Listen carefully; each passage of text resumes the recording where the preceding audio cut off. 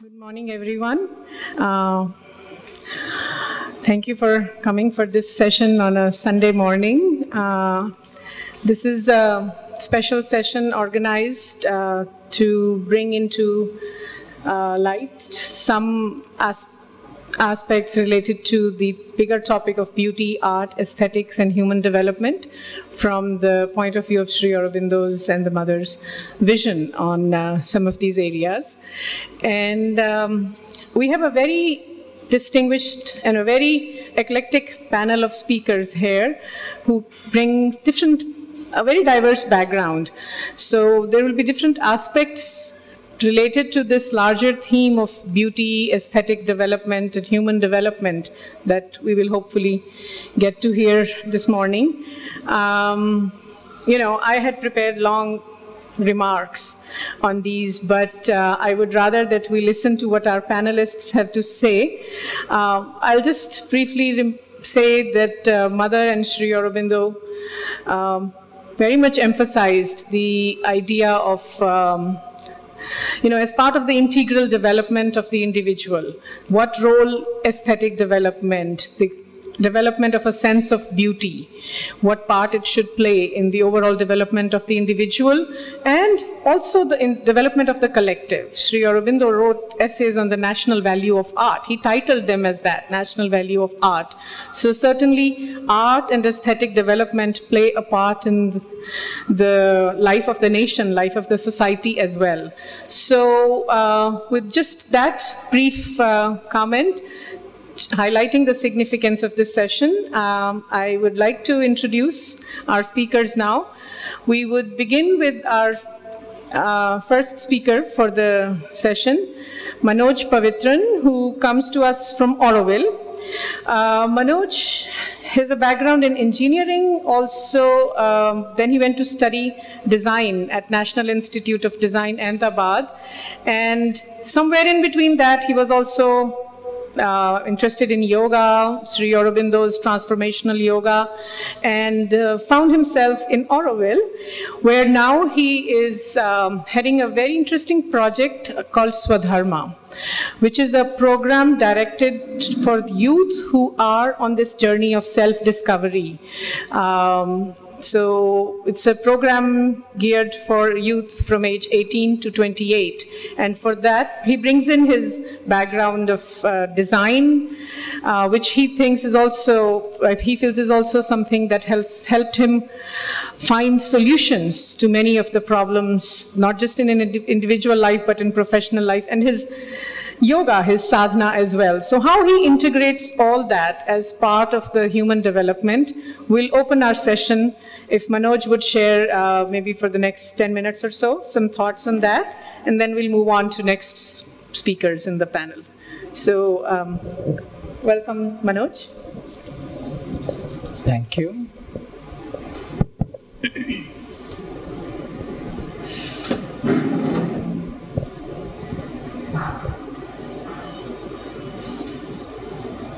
I would like to recall two chapters from the Life Divine, where Sri Aurobindo is reviewing entire spectrum of human thought and various philosophies looking at human existence and its purpose. He writes two chapters called Delight the problem and delight the solution. The ancient Upanishadic realization that everything is born out of delight, sustained by delight, and returns to delight. That insight as the very fundamental nature of existence and the process of life, if we hold that picture in mind, that will give us the clue to look at what do we mean by human development. Is it a process of returning to delight. If we are able to return to delight, are we able to hold it within us? Do we have the capacity to experience and hold delight? I would like to hold that as the reference for human development, and in that context comes art, beauty, and aesthetic sense. Art as activity that creates forms that are beautiful, and aesthetic sense as a faculty that opens us to enter and access delight. So art come in as a direct doorway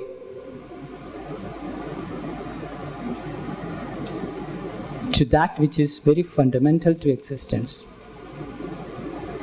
And here comes the development of faculties. Do we have the capacity to perceive, first of all?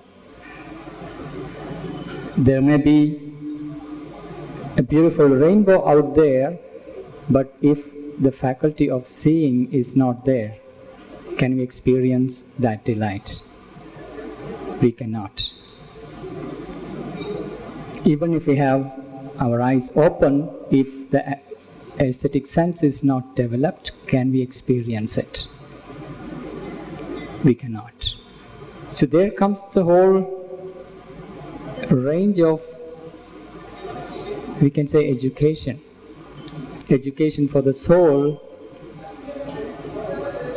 that enable us to first of all perceive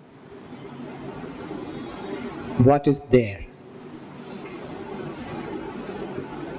and then to bring out and express. In that context, Sri Aurobindo refers to the function of art having threefold stages. First being purely the aesthetic delight, the perfection of form, whether it is physical or intellectual or emotional, any form having the pure perfection that reveals the beauty. That's like the first stage of art. If we can create beauty that gives us the sense, the experience of aesthetic delight. Then comes the next stage without losing that profound sense of beauty, experience of beauty, and the delight, can we bring in the profound depths of ideas into it? The truth conceptions that find expression in the forms through which we express ourselves.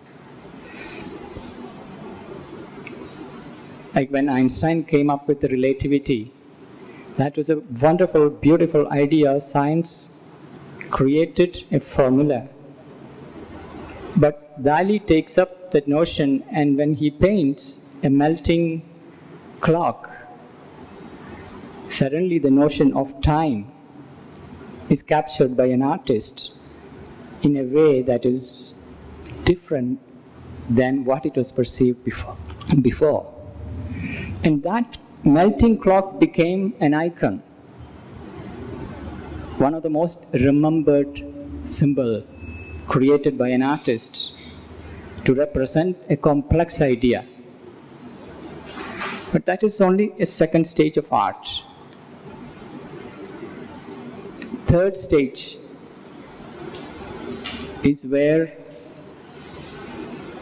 artist is able to invoke a presence not only aesthetic delight, but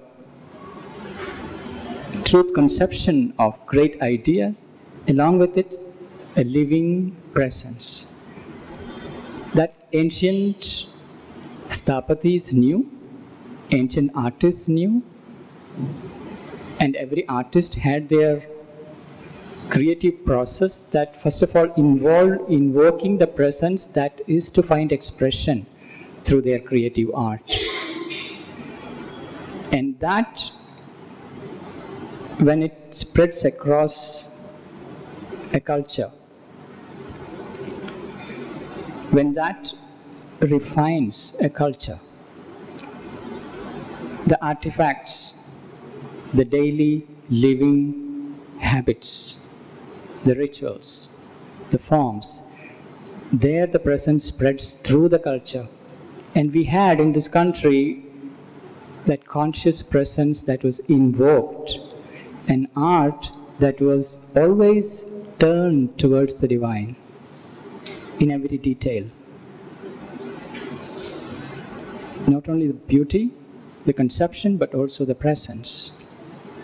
And as individuals, we learn to invoke that presence and bring beauty into life. The whole culture acquires that fragrance. So the nation soul begins to express itself through that collective vessel. Here, art becomes the direct doorway to access not only the delight but also the presence and profound ideas. So I would like to just leave it at that as a perspective and leave give space for others. And I think um, you left it at a very um, important point because I think this really leads us into our next uh, um, speaker for the day, for this panel, Priti Di, Priti Ghosh. Uh, she's sitting right there. Um, she's a very long, long time resident of uh, the ashram here, Sri Aurobindo Ashram. Uh, she came here as a child, if I uh, have read, understood correctly. And she um, grew up as an artist here in the ashram itself, and she was uh, given some guidance by the mother as well, who was an accomplished artist. Um, and she received her blessings and to awaken the artist within her, the inner artist. Uh, some of you probably have seen some of her works here in the ashram dining room and other places. Um, so we are really happy that she agreed to uh, spend some time here and be a part of this panel. And uh, she had requested that since her mode of expression is through her paintings, through her work, through her art. Um, so instead of giving a like a lecture or a talk, she would be most comfortable if we if I ask, pose her some questions. And we wanted to do a little slide show of her paintings as well. But uh, this being Sunday, there were some technical things. We couldn't get the projector in place. But uh, those of you who are interested, we can certainly, uh, we have them here on the computer. So maybe we'll get a chance to talk about some of her inner motivation for few of her works as well. But uh, Priti Di, if, uh, Shruti, can you just check if that mic is working for her? Yeah? So, um, welcome Preeti Di. Thank you. Okay. Um, I'll... Good.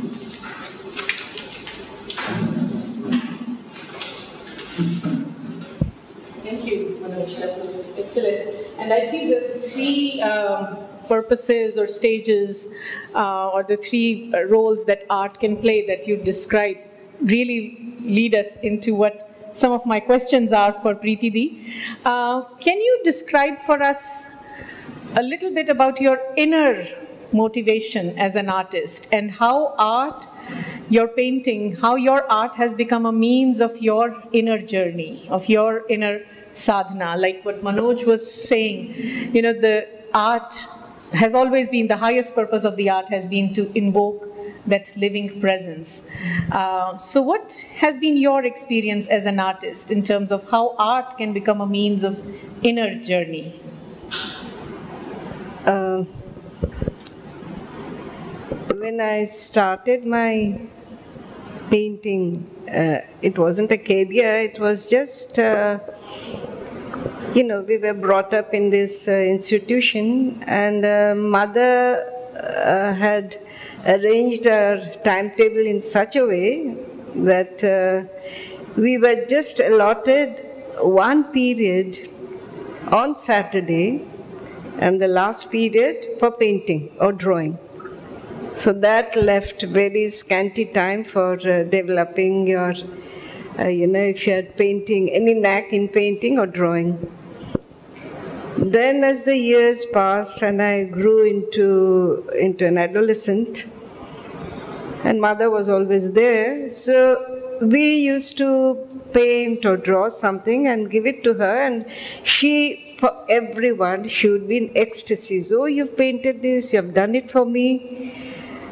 And uh, so gradually, as I got interested, uh, as to take her paintings personally, and then she used to give her comments.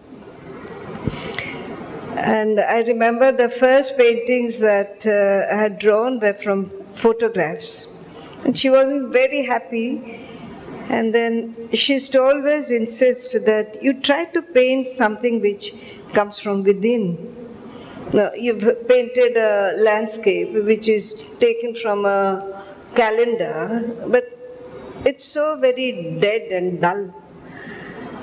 Then, when I started to uh, go more, uh, you know, more uh, trying to paint something of my own experiences, uh, she would come out with very subtle suggestions and uh, she would insist that uh, you should try to paint something which is uh, not very artificial, but something which goes with your experience. I remember I painted uh, a few figures, old and uh, old ladies, children, who were marching towards, uh, towards a goal. And I'd left, it was through a cave, and there was the cave looked more like the, you know, the uh, an opening, but uh, she said it looked more like a figure. Then she suggested, why don't you paint, uh, say, rays of light coming out from that mouth?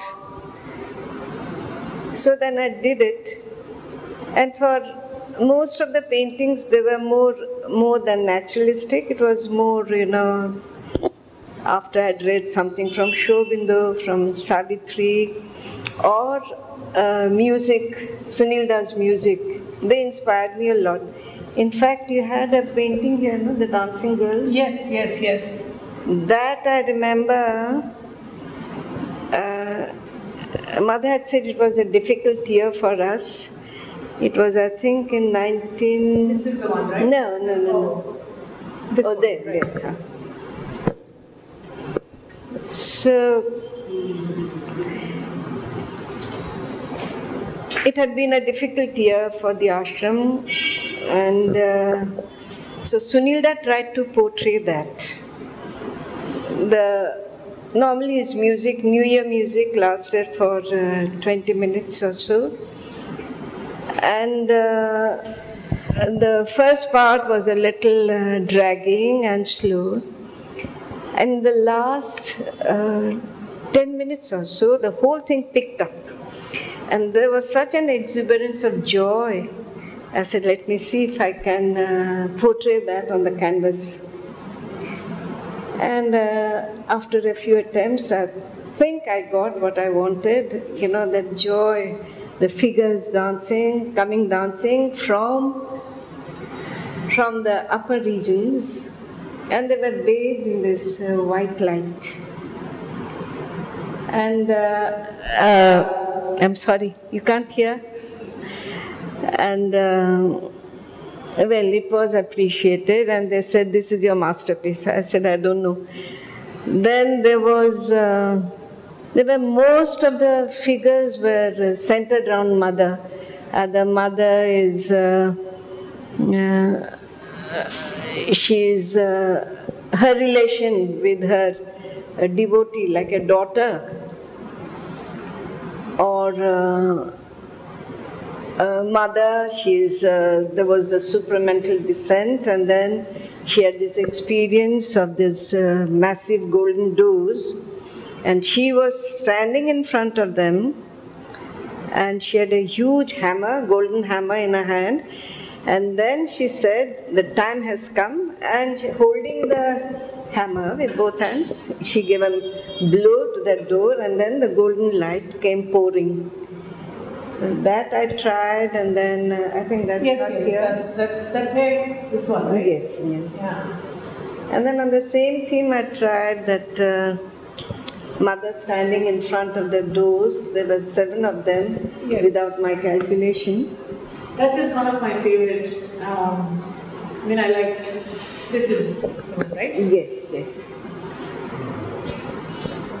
So uh, mostly my figures were centered around mother, and for every one of these paintings, I really had to, how should I say, meditate for days together. I tried so many, uh, how should I say, attempts, sketches, and then when I thought, you know, inwardly I was happy, satisfied, then I said, okay, I do it on a, you know, on the proper, um, the measurement I have, usually for my paintings, 24 by 32.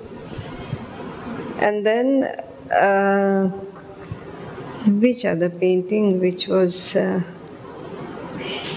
even Sri Aurobindo walking in the wilderness, golden wilderness, in all his solitude.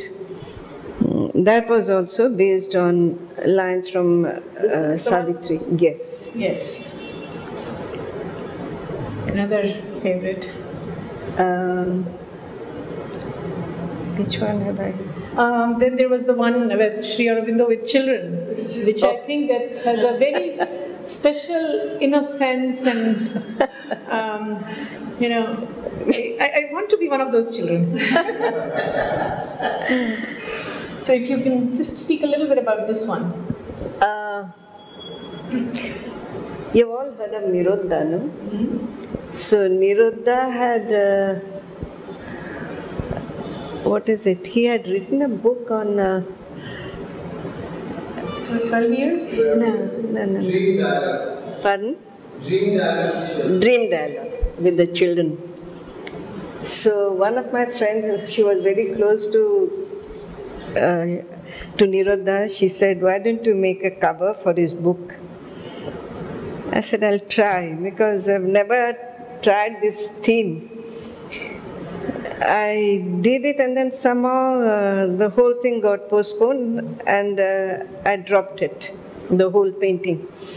Then later on, my exhibition was coming up. I said, okay, let me try this one. So I painted uh, imaginary children all clustered around Sri Aurobindo and listening very intently to whatever he's recounting. Great. Thank you.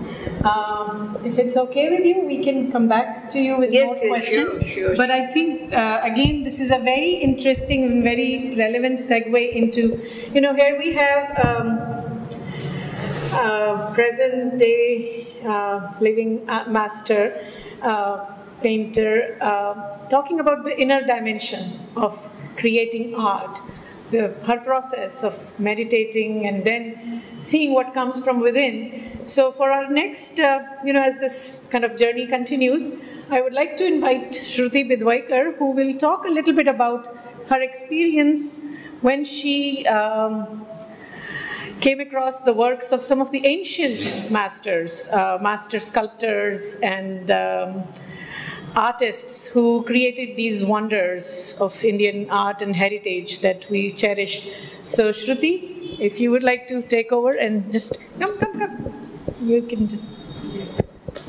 Thank you.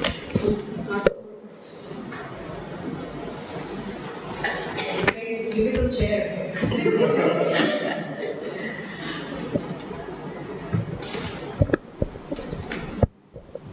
Thank you. Uh, I'm grateful to the both the speakers before me because they've made my job easy and set the tone and the mood of uh, this session. Uh, what Manojji told us is about the levels of art, how art is relevant, how we can look at art, what is its utility, what is its function from mundane to the spiritual. Priti being her, herself an artist, such a beautiful expression of how, what inspired her to create such beautiful paintings. What I thought uh, I would share with you is how I would look at art, um, because I'm also only beginning to learn painting. I have never done painting in my life, but imitation is the first way we learn, so perhaps, so that gave me a little bit of interest into how we, do we look at others' art? How do we appreciate art? And um, incidentally, I happen to have gone to um, see the Hoysala temples in Belur and Halebid near Bangalore last year. And that was as if I would say my first encounter with the beautiful world of beauty in stone. I had seen other Mughal architecture and others, but somehow that was uh, when I saw those, Sri Aurobindo's words were resonating in my ears. And uh, for the first time, perhaps, I did not see it as a historical work or a work of, done by some king or inspired by or funded by, sponsored by, envisioned by some king. Because in history, as we were young, we were always taught the political history of a particular place, temple, kingdom, province. So we never got the insight of what the artist would have felt while making it or how an onlooker would look at it. But these temples at uh, Belur and Halebid, very small in dimension as such, if we see as compared to Chidambaram temple or Madurai temple, they are very small as such. But the intricacies of art in granite is way more varied, way more opulent, than we can find in uh, other temples, other temples in South India. I'm not comparing, but I'm just, because I visited Chidambaram as well as uh, this Halebid Belur temples, and of course the Shravan Belgola, huge monolithic statue of Mahabali, uh, two, three things that uh, came to my mind when I was looking at it. One, I remembered Sri said that Indian art reveals itself to those who have a meditative tendency. In fact, I would like to read what Sri Aurobindo has to say, and it's a very, I found it very strict guideline for us as, as such. A great oriental work of art does not easily reveal its secret to one who comes to it solely in a mood of aesthetic curiosity or with a considering critical objective mind, still less as the cultivated and interested tourist passing among strange and foreign things. But it has to be seen in loneliness, in the solitude of one's self, in moments when one is capable of long and deep meditation, and as little weighted, weighed as possible with the conventions of material life. So what we are called upon to do is to meditate in front of the stones let the stones reveal what they want to reveal to us.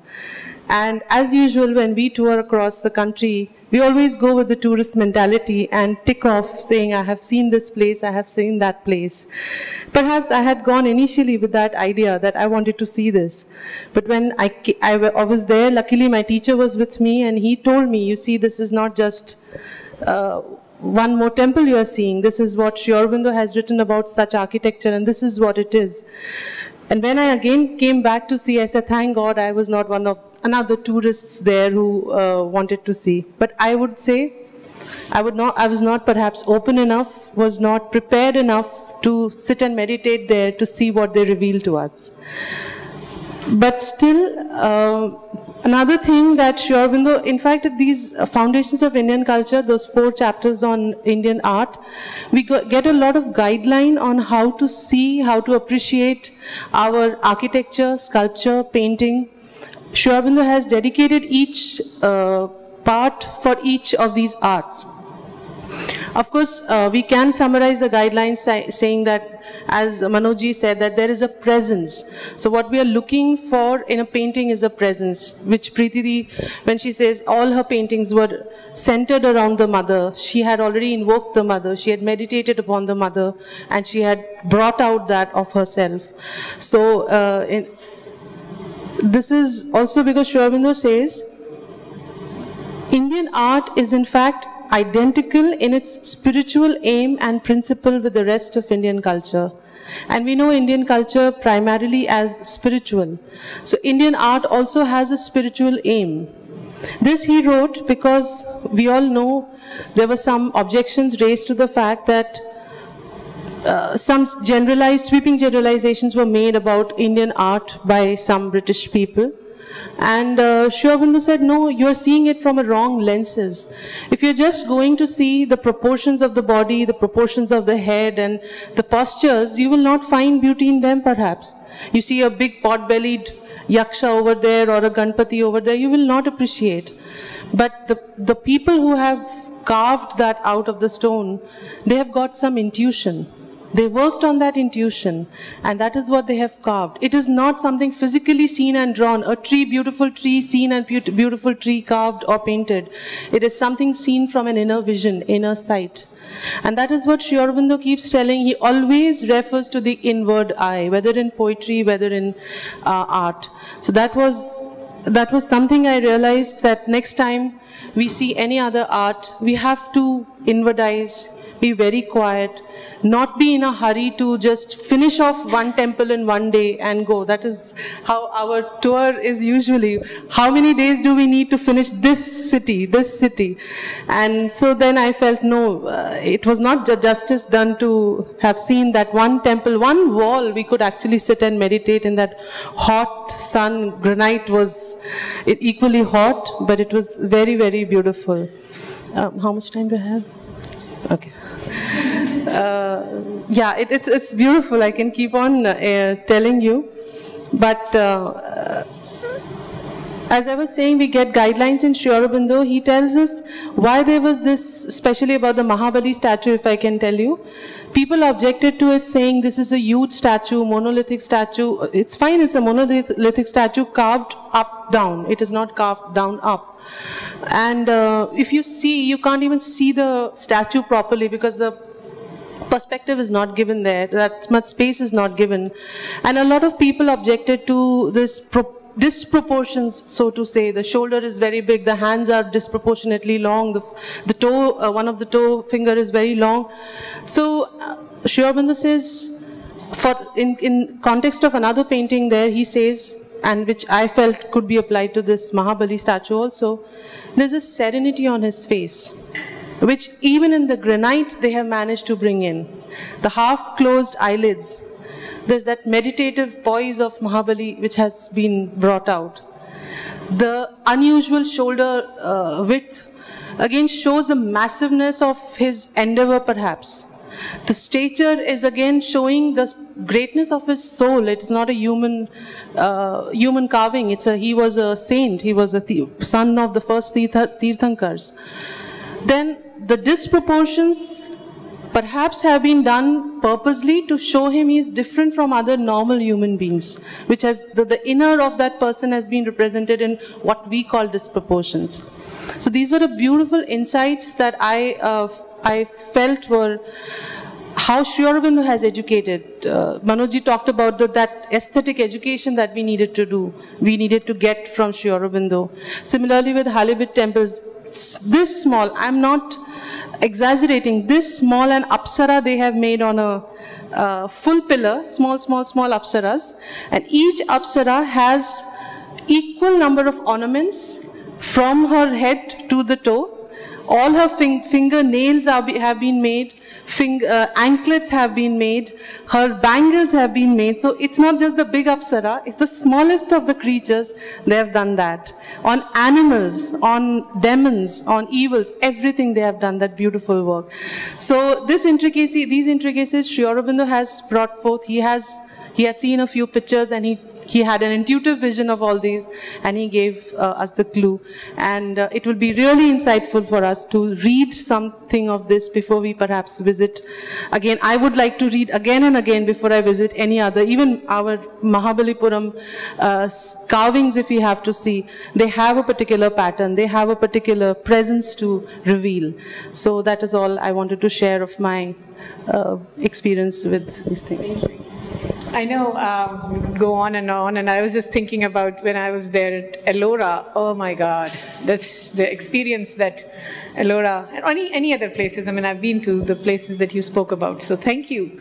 And again, I think this is very good uh, segue into what we are going to hear next. Uh, we have next a couple of young uh, students who were actually also students of Manoj uh, through the Swadharma program and they'll bring in different dimensions of art. First, we'll uh, hear from Aishwarya.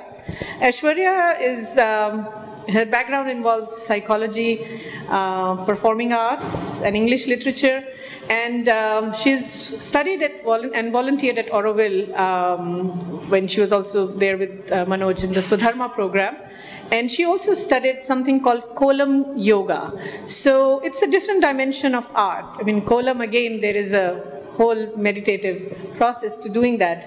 And she's getting ready to uh, start her master's in art as psychotherapy. So she can speak a little bit about a different dimension of art and aesthetics, both from a healing point of view and also maybe your experience with Kolam and what, how that helped you in your development. So welcome, Aishwarya. Thank you. Maybe 10 minutes, and then. Sorry, that's job. Um, so, uh, is it working? Okay. I recently worked on compiling a module on aesthetic sense for a website on integral education. So I'd like to begin with sharing some of my insights um, from reading what Sri Aurobindo and the mother have said about that. Um, they speak of aesthetic sense as something that's really essential to progress and they describe it as an ability to perceive beauty even where it's not apparent. Um, this may be in works of art, in visual performing, whatever, in works of art, but it's not limited to that. We also have this experience of beauty when we um, witness an act of kindness or generosity. We feel, oh, that's so beautiful. Um, this is because there's an inherent relationship between aesthetics and ethics. Uh, they both have this capacity to create dualities like good and bad, beautiful and ugly, attractive and repulsive. And this is what we need to rise above from. Because there are also times when we experience, um, like when we witness an act of injustice or bigotry and we find that really ugly and repulsive. So, what do we do then? Um, what Sri Aurobindo and the mother say is that even uh, in that ugliness, there's a hidden possibility of beauty. There's a possibility of inclusion, of acceptance, of justice, and it is that that we need to focus on and energize as opposed to uh, the hopelessness of the former perspective. Um, I think most people here are familiar with the vocabulary of integral yoga and know of the vital being. Um, but in my own words, I think the vital being is the seat of energy and um, emotion and passion and will, but it can also be really impressionable. Um, depending on the environment that it's placed in, if it's in a good environment, it is influenced by that, and if it's placed in a bad environment, it reflects that. Um, it's characterized by this polarity, and we often use the words light and shadow when we're speaking of the vital being uh, and we speak of shadow transformation. And I think uh, cultivating an aesthetic sense is an important step towards shadow transformation because it allows you to see the possibility of light where there is shadow, because there can only be shadow where there is light.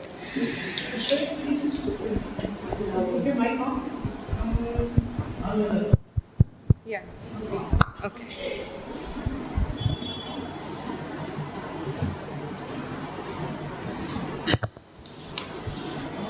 Um, okay, so this relationship between aesthetic sense and shadow transformation uh, brings me to the next segment of what I would like to share with you today.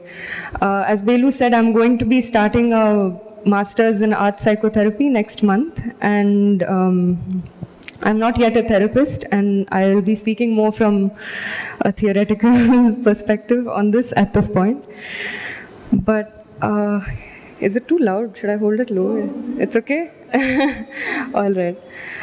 Uh, I've always been drawn to the arts. Uh, as a child, I, it was my only solace. I spent hours and hours just painting and writing and dancing by myself. Uh, growing up, then it became my only strength. And um, I would like to speak uh, a little bit about two art forms that I've received formal training in. Both are from here, from Tamil Nadu. One is Bharatnatyam and the other is Kolam.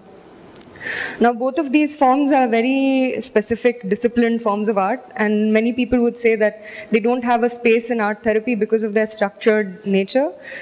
But um, I think if uh, we look at it from a Jungian, Jungian perspective, um, they do have uh, some kind of a role. Because in both of these forms we uh, try to there's sort of an invocation of uh, gods and goddesses and other energies and like characters. And i think that these represent um, inner psychological forces. And in embodying them and in invoking them we're uh, exploring that part of us also and this is important because psychotherapy and healing is not always about fixing what's wrong, but also about uh, fine tuning what is already there and coming into this wholeness. Um, there's also Freudian psychotherapy, which has a different approach. It would encourage a more uh, free self-expression. And I recently also did uh, learned another dance form. Actually, I don't know if I can call it form because it's quite a formless dance. It's called Butoh. Um, and in that, we were uh, very much set free from the beginning. We were told to move. Uh, we were told not to consciously like try to move, but uh, allow the movements to come to us and only move when we really needed to. Um, this was very different for me because I've always been chasing form and um, Bharatnatyam and Kolam and all these art forms sort of start up here and you know what you're supposed to make and you execute it with the body whereas this was more um, I was surprising myself constantly with my body and trying to then understand what I was doing with my mind. So there are both these movements, this upward from body to mind and mind to body, there's up and down. And we know of this also in integral yoga. And I don't think that they're um, mutually exclusive and I don't think that they can be treated separately. I think that there needs to be some kind of meeting of both of these uh, forms of thinking of psychotherapy. Um, but there are four sort of aspects of art psychotherapy that I think set art psychotherapy apart from conventional psychotherapy that I would like to share with you. Uh, these are absorption, agency, catharsis, and containment. Um, absorption refers to this feeling of being completely absorbed in what you're doing, feeling completely present, like a child who's playing, who's not self conscious. And this presence is really important for healing. Um, agency refers to this feeling of responsibility for one's own healing, which is uh, a specialty of art therapy because um, the client quite literally takes healing into their own hands when they come into an art therapy session. And a lot of mental health issues uh, have um, have this side effect of a feeling of loss of control. So, in this space, in the therapeutic space, the client can really feel like they're in control of their healing and they feel independent of the therapist because the therapist is just there, sort of guiding their expression. Um, then there's catharsis, which is the emotional release that one experiences when we symbolically express ourselves, or even if you like we witness a symbolic uh, expression of something that we're holding inside of us. Uh, and then there's containment. The artwork itself becomes sort of a container for all the unacceptable, intolerable, ugly feelings. It becomes a record for the therapeutic process, and it can be something that you either keep with you as a reminder, or it can be something you um, burn or offer symbolically. So this brings me back to the mother and Sri Aurobindo and what they've said about perfection. Um, their idea of perfection is very different from the conventional idea of perfection as an absence of all things bad and wrong and ugly. They see it more as um, an absence of nothing, which I find so simple and so beautiful. It's this feeling of uh, wholeness, which comes from a very deep self awareness and self acceptance, also, I think. And that can be, again, aided by the cultivation of an aesthetic sense. So, I would like to draw to a close with some suggestions from the mother on how to cultivate an aesthetic sense with children. Um, so she says that when a child experiences ugliness or disharmony, uh, say, in their bodies, and they come up to you and they uh, say, My arms are too fat, my face is too big, something like this, uh, you can help them change their narrative and instead say uh, that my arms will be harmonious, my face will be harmonious. What this does is it replaces that feeling of dejection that they came to you with with more feeling of possibility and also responsibility because you're not encouraging them to, you're not encouraging also frivolous self acceptance. Um, another suggestion from her is that when a child is drawing something they've seen or experienced, it's not advisable to uh, insist on technique or details. At least at first, it's more important for them to just draw their impression of um, the experience that they had because this helps them build their relationship with beauty. And should they want to become artists later, they'll work on, they would want to work on technique and all of this anyway. Um, but it's more important for them to have an authentic relationship with beauty first. And this is not just for children. She says that beauty is something that we must all incorporate into our daily life. And um, so I would like to end with something that she said that I don't have written down here. So I'm just going to share my impression of it with you. Um, she says, Let beauty be your constant ideal beauty of soul, beauty of sentiment, beauty of work, thought, action. Thank you. yeah. I would like to end with that. Thank you. Great. Thank you. And um, this again just really fits in wonderful, uh, wonderfully with what we will be hopefully hearing next from Siddharth. Uh, Siddharth is also uh, part of the Swadharma team with Manoj, and he was also trained as an engineer, worked for a year or so, and felt that even though everything seemed right, but something was not right, or maybe nothing was right, and that journey led him to Auroville and to Swadharma, and now he works um, there as part of the team of uh, team at Swadharma on using design, technology, and uh, on integral education. He also worked on that module on beauty, if I remember correctly. And Siddharth said he would like to speak a little bit about art, beauty as lifestyle. Like Aishwarya was talking about the wholeness, how art and aesthetic sense can bring us to that sense of wholeness. So, what does that mean in terms of I mean, the, when he said that phrase, art as lifestyle uh, or beauty as lifestyle. So I'm curious to know more about how Siddharth you would speak on that a little bit. And so 10 minutes, and then we'll maybe uh, have more questions and interactions. Thanks, Beloo. Am I too loud? No. Am I audible without the mic? I think it's better for recording purpose. Okay. Um, okay, so I'll be sharing my story briefly today about my journey into exploration of beauty. And uh, I'd like to start with asking a question uh, that how many of you in the audience here feel you are artists of, you could be any kind of artist and need not be a professional artist. Can you please raise your hands?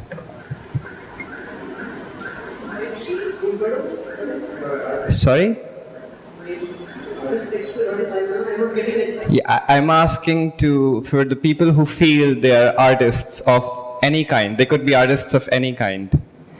To raise their hands. Are- Do you feel you are an artist?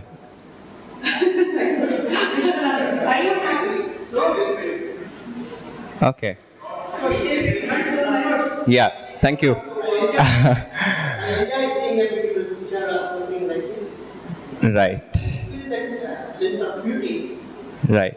Uh, I not capacity to bring, bring that. So there's at least quite a few of you who didn't raise their hands. And uh, I'd like to look into this. What is it that makes people feel that they're not artistic? So what is it that separates an artist from a non-artist? Uh, and loosely referencing the mother here, she said, an artist is someone who who expresses, uh, who sees beauty, and art is art is an expression of something beautiful. Now, this something beautiful could be expressed as a thought, or a beautiful composition, or a beautiful movement. But the forms of this expression need not necessarily be limited to these conventional art forms basically the expression of something beautiful is art. And beauty can just as well be expressed through a beautiful glance, or a beautiful posture, or a beautiful silence, or just a simple reorganization of your wardrobe. This is all art. And uh, Mother in one of her interactions said um, that an artist is someone who is deeply aware of the beauty around them and someone who can see and feel things deeply that which is not obvious to the ordinary consciousness and express it and to express it needs a good instrument that is a body with good physical, vital, mental, and psychic capacities. Um, I'd like to read an excerpt from, from her interactions.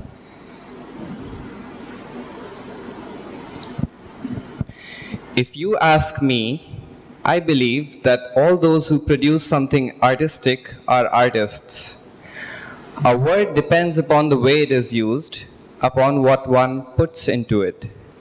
One may put into it all that one wants. For instance, in Japan, there are gardeners who spend their time correcting the forms of trees so that in the landscape they make a beautiful picture. By all kinds of trimmings, props, etc., they adjust the forms of these trees they give them special forms so that each form may be just what is needed in the landscape. A tree is planted in a garden at the spot where it is needed, and moreover, it is given the form that's required for it to go well with the whole setup. And they succeed in doing wonderful things. You have but to take a photograph of the garden, a real picture, it is so good well, I certainly call the man an artist. One may call him a gardener, but he is an artist. All those who have a sure and developed sense of harmony in all its forms, and the harmony of forms among themselves, is necessarily an artist, whatever may be the type of their production. So that brings me to re-reflect on the question that I asked in the beginning. Do any of you who didn't raise their hands before, does it shift anything for you? Or for the ones who did, does it expand the scope of your art? Can you please raise your hands once again?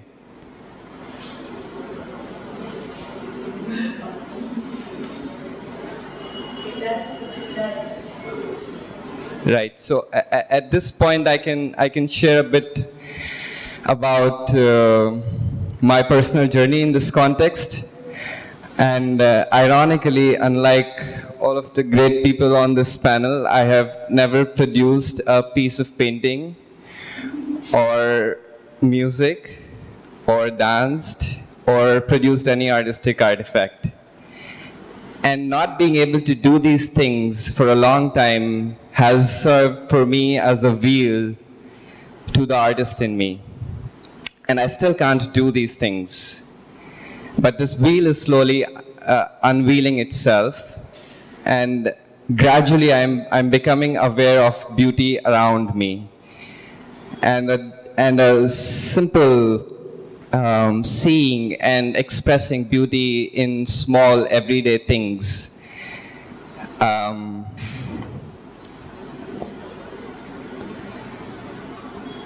and also becoming aware of the lack of it. Just for instance, I'd like to talk about uh, during a meal, I'm aware at the of the point at which the purpose of my eating shifts from eating to nurture the body to eating out of desire. Or talking about another instance from recently from I had an interaction with one of my colleagues and uh, we had something to disagree on and I found that my conduct of disagreement was not so graceful and the lack of this grace it stayed with me the whole day there's this gentle disharmony that I feel I'm becoming more sensitive to. And on the positive aspect, I'm, I'm, I'm able to see more of the, the deeper harmony in nature and beauty in people. And this is enabling me to connect deeply both with myself and with other people. And this process of deeply seeing and feeling things is gently bringing a sense of harmonization, a gradual purification and refining of the being. And um, I feel that be, behind beauty, there is a, behind the physical sense of beauty, there is a, there's a deeper sense of harmony. And this, this harmony is the, is the very nectar of the divine delight. And we are, we are beings of delight, following from what also Manoj mentioned. And this, this delight really nurtures us. This beauty is, is very nurturing for the growth of our being.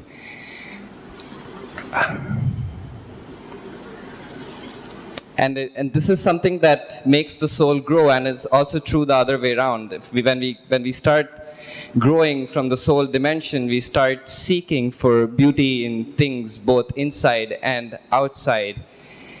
And as we are increasingly able to access beautiful states inside, it automatically raises our awareness of sensing beauty outside. Um,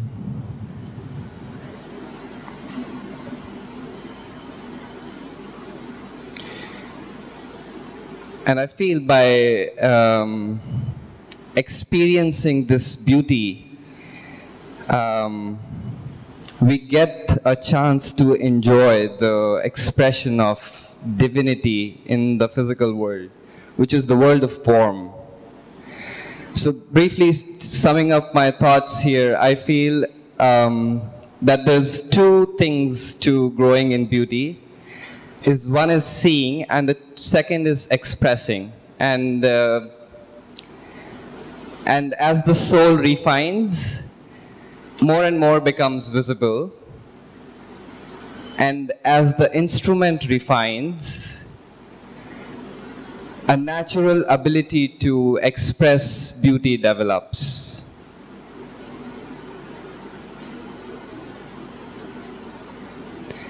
So I would like to close on that thought. Thanks, Beloo. Thank you. I think this was excellent, the way you summarized not just your thoughts in a way, it summarizes the whole uh, flow of thoughts that's been going on in this panel. Manoj, would you like to come here now? Because I will open it up for interactions and um, so. Yeah, just um, so we'll um, have, I have questions for all of them, but I would like to open it up for questions and interactions from the audience. Uh, and before we do that, Shruti, you wanted to add just briefly? Uh, adding up to what uh, Siddharth just mentioned, uh, it is very interesting the way you uh, narrated your journey with how you developed, con- became conscious of beauty around you and are becoming. Uh, it is, uh, I had gone to teach in Surat for some time, and there the students, we, we were given a topic where we had to inculcate this kind of a sensibility in the students. And it was amazing to see that uh, these 18 year children, because they had everything at their hand, they could buy anything, they could order for anything. Uh, I didn't realize that they didn't have this sense of beauty in them. So we had just given an assignment because it was a part of our curriculum. We said, uh, you observe a flower and you just tell us how you feel about it. Any flower you take. Out of the 40 students in my class, 20 said okay. The remaining 20 said we can't associate with flowers. You give us something else. I said okay, a plant. 10 said okay, a plant. Another 10 came, they said no, even nature, plant, all this we can't associate with. I said okay, sunrise, sunset, one or two accepted. Another one who was who was really adamant on his own view, he said there's a huge chimney that is outside my balcony, and a flame is always, uh, you know, it's coming out of it, and I want to observe that. I said okay, anything that you feel beautiful, you do. And they did that assignment, and it was so amazing to see. Everybody wrote, we never thought that a flower could give us that peace. We never thought that a sunrise, I never wanted to sit in front of that sunrise even for three minutes, but I sat for 30 minutes in front of it. And that was somewhere I still feel it was, it was a beautiful thing that how, uh, you know, that sensibility, just because I was taught like that by my parents of how you observe a flower for some time or appreciate a sunrise.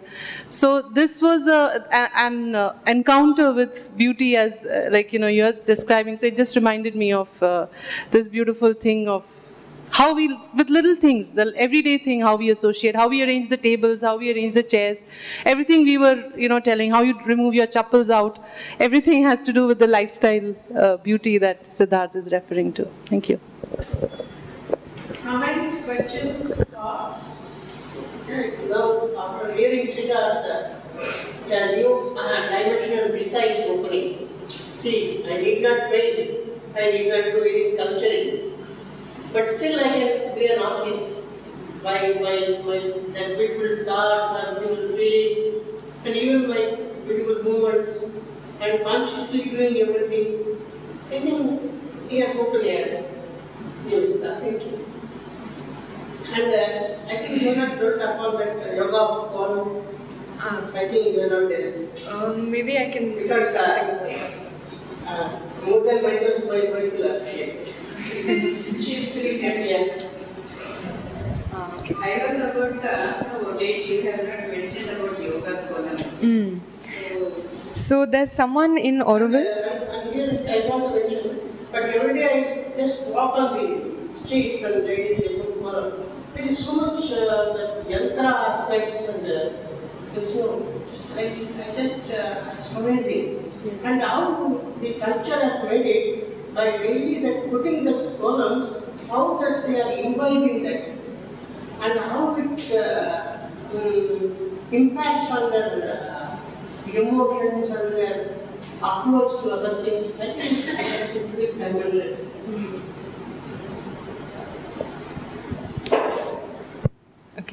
Um, so there's someone in Auroville who her name is Grace. She's the person who I learned from. And um, one of the questions I get asked the most about Kolam Yoga is why is it yoga? How is this yoga? So uh, I think uh, what she did is she's very beautifully drawn parallels between kolam making every day and how this can be considered uh, yoga. Um, one example that I could maybe give you is that you have to make a kolam You make a kolam every morning, and no matter how beautiful it is, and no matter how much hard work you put into it, tomorrow you clean it and make another one. And so this feeling of detachment from your kolam from your creation, is uh, something that makes it yog- like a yogic uh, practice. That's one thing that I can say it's true. Some days we won't feel like to uh, clean it. yeah. So maybe about the four aspects of the mother and how uh, it gets represented in the four the movie. Like to speak a little bit about that. I feel like there's so much to say about that. I don't want to go in because it could go on forever. But um, what she's also done is she's found uh, four kolams that represent the four aspects of the mother. And I've thought about this so much. There are too many parallels to draw, but uh, there's also in sacred geometry, there's something called isometric, isomorphic uh, shapes. So there are those are four in number also, and uh, these four kolams are shaped like those. There's a triangle, a circle, a hexagon, and a square. The square represents Kali, because um, it also represents earth and grounding. The circle uh, represents um, Lakshmi, who also represents harmony. And um, the triangle is Saraswati, and the hexagon is Maheshwari. Six is a really special number, even if you look at it from a numerol- numerological perspective. Also, an interesting thing about hexagons is that um, why did bees choose hexagons to like make their homes? Because if you draw circles next to each other there'll be empty gaps wasted space. But if you draw hexagons there's no wasted space. It's all fits in perfectly together. So there's just so much that can be said about this. I would rather not get into it uh, maybe after the session also the conversations will go on. So, uh, I have one question for both Priti and Manoj. Uh, since you both, I mean, you as an artist and uh, you as someone who works with youth, it's a question concerning our current education in India, which totally misses out on this development of aesthetic sense and appreciation of art. Mean, we are so focused on utilitarianism and education for success uh, kind of a thing. So from your perspective, having worked with youth, uh, and from your perspective as an artist, if you would like to share something about uh, what, how, how does, how, what gets missed out when our present mainstream education totally ignores this sense of, uh, this development of sense of beauty and art and artistic appreciation in our students. So maybe whoever wants to start.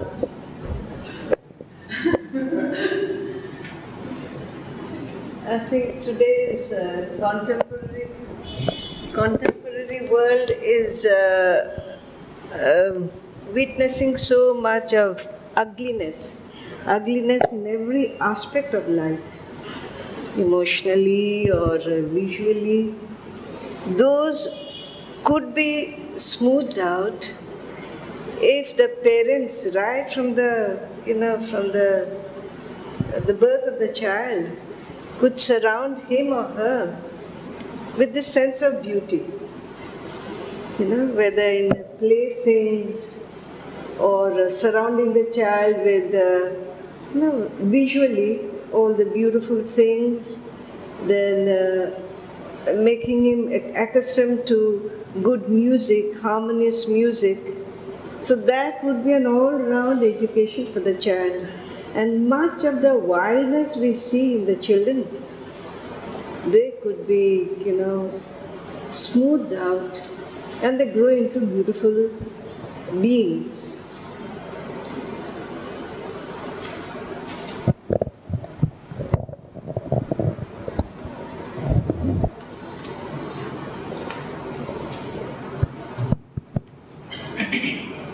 The quality of the physical environment itself plays a very important role in invoking that inner quality.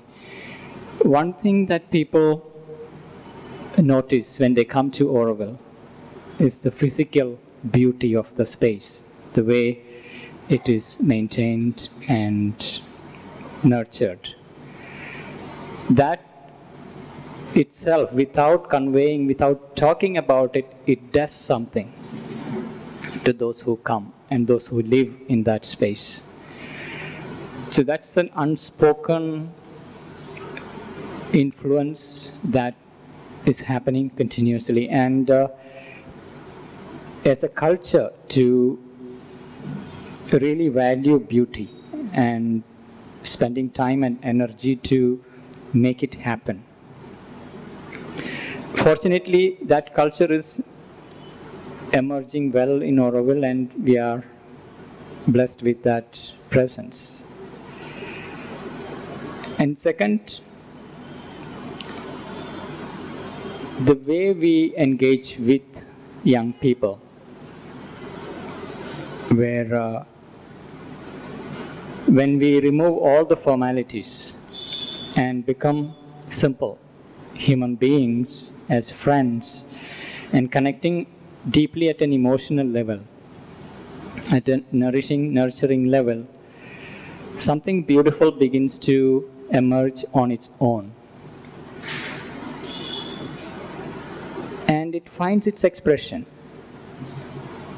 The sense of harmony, even when we encounter the most difficult challenges, most difficult situations, even ugly situations, the way, uh, like Aishwarya was referring to, the way we look at a situation, a context, or a problem as an opportunity where there is a possibility of light, a possibility of a greater harmony.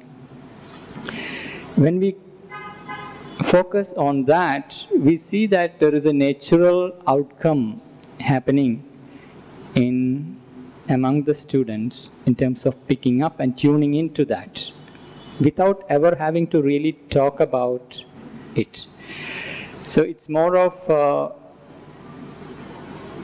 honoring that inner divinity, that inner presence, seeing everyone and everything holding that inner presence and the more we are able to address that and honor that and remember that and offer to that, naturally there is a flowering.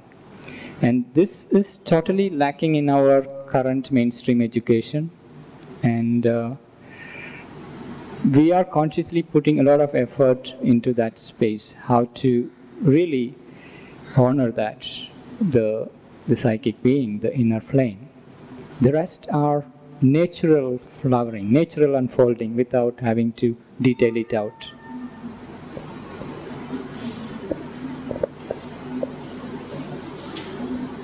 Uh, I have a question from Priti. One of mine, so I have, I totally love your paintings and I've been meditating on them for about a year now. And I did not know about you and I'm seeing you and meeting you for the first time. So one of my all-time favorites is the one where there are three women, you know. Um, I might have it. Go on, go on. Yeah. Um, and I sort of interpreted it as the child inside of me, the mother and myself. And uh, there are these three women going towards the light, and I find that incredibly, incredibly beautiful. So I wanted to know from you what really inspired, yeah, this is the one, yeah, this towards the moon. This is also, I think, you had picked up to speak about Yeah. it. And I had it for the longest period of time on my desktop as well. I wanted to know from you, like, what what went behind uh, creating this. Mm. Actually, uh, it was just, you know, I was still a student at that time, and uh, my teacher used to he used to leave me in the house and then go for his own classes in our school. So I used to just dabble with colors, and that day I happened to do this the three girls going to the moon.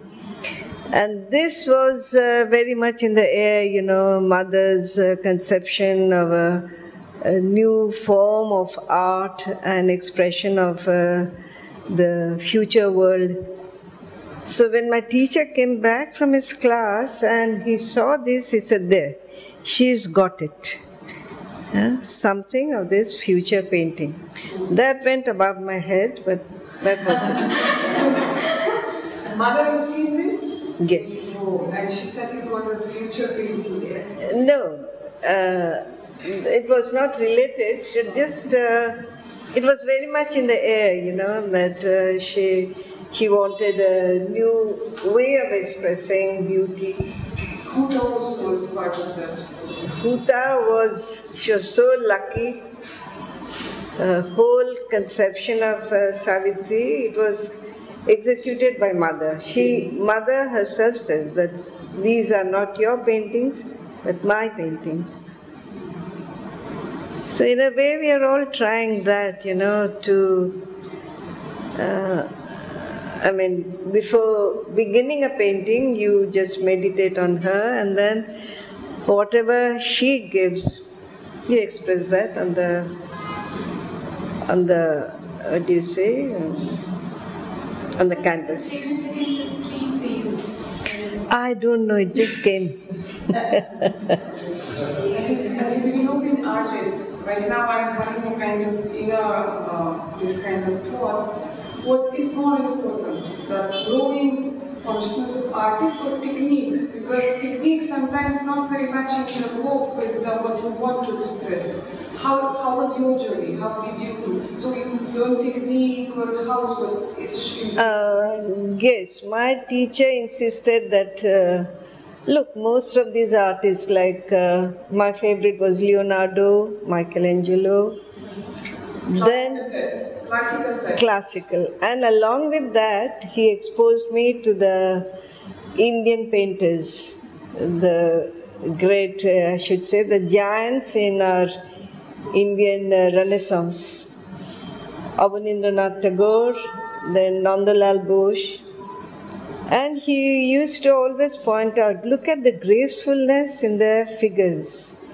It's not more of the, you know, the uh, physical, uh, how should I say, the perfection, but they have a rhythm in their body which is uh, again, uh, how should I say, uh, um, what we inherited from the from our Ajanta and Ajanta, uh, yes, and so it was a very beautiful uh, training for me, combination of the the Western art and the Indian art. I've taken lots from the Indian artist in their wash technique, and plenty of it from the uh, Western figures.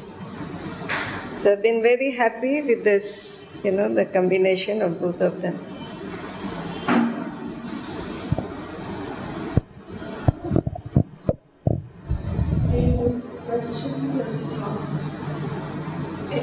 Anything you would like to ask more or want to add something more?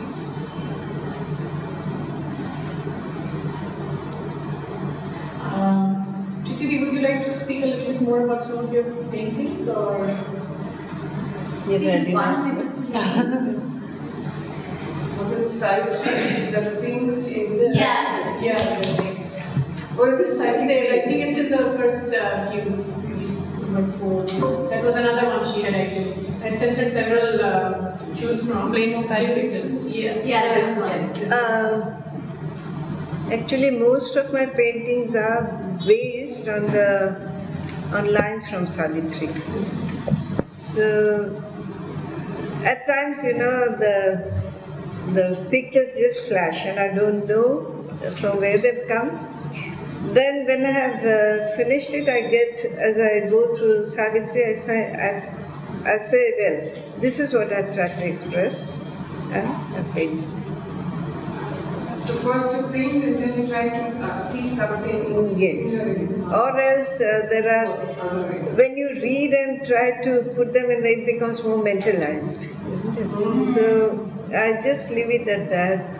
And I listen to Sunil-da's music. I'm very fond of Sunil-da's music, and many of my paintings have been inspired by his music. Other place it came highly, these music. Yes. That came from very nice. Yeah. After the centenary music, after he had composed that music in 72, mother had told him five times. Thank you, thank you, thank you, thank you.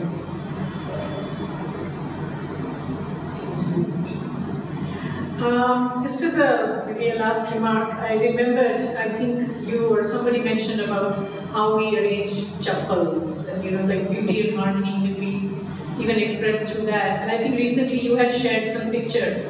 One of you had shared some picture about the uh, Swadharma day one and day five and how the naturally the chappal the people that come how they got arranged and the difference was remarkable. I saw it on Facebook or uh, one of the social medias. So that was a very interesting way to capture, you know, how naturally it outflows that sense of harmony if something inner gets uh, sort of worked upon. So really, it, was just wonderful that. So thank you all of you for uh, thank you thank you thank you for this wonderful session and really the harmony of the way thoughts flow from one to another was remarkable so thanks for this experience and thank you all for coming for this session